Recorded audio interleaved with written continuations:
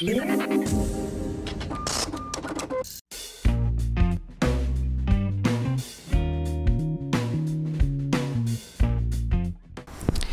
Como es bien conocido, el siglo XX nos deja dos grandes retos en relación a las ciudades y especialmente en las ciudades latinoamericanas, las ciudades del tercer mundo. Eh, estos retos tienen que ver con el exponencial crecimiento de la pobreza, la segregación socioespacial y los desequilibrios territoriales por un lado y por otro lado un reto eh, no menos importante es el que tiene que ver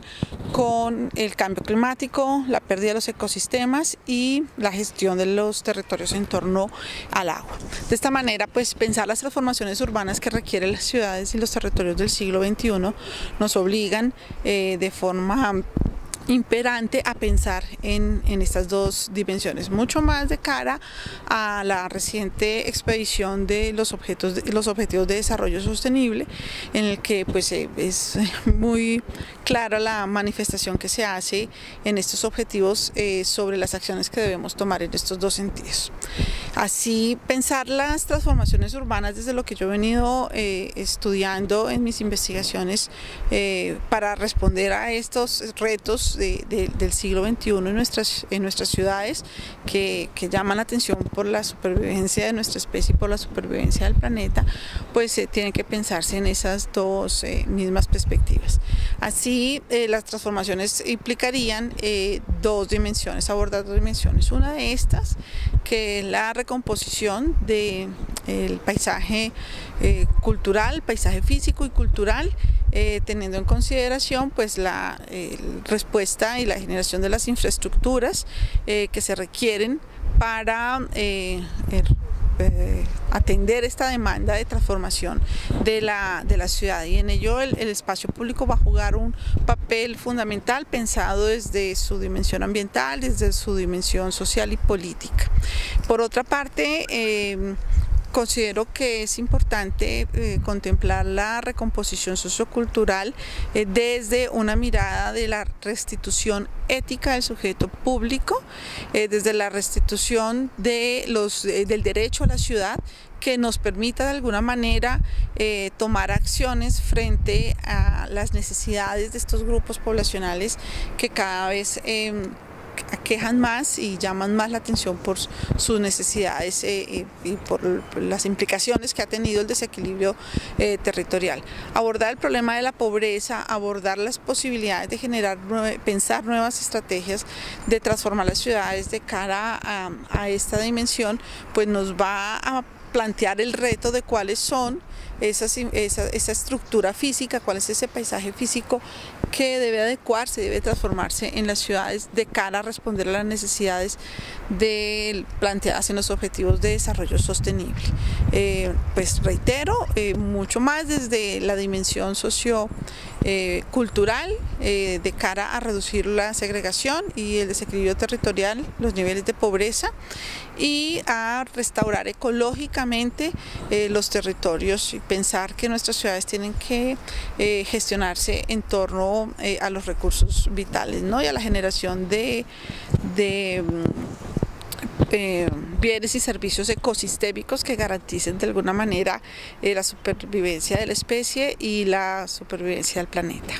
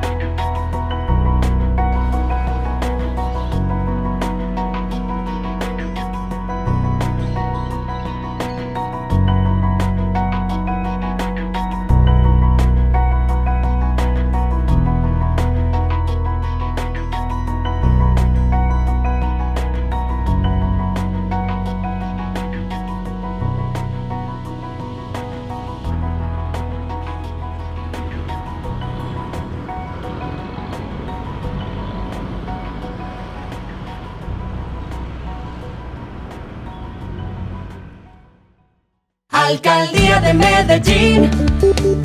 cuenta con vos.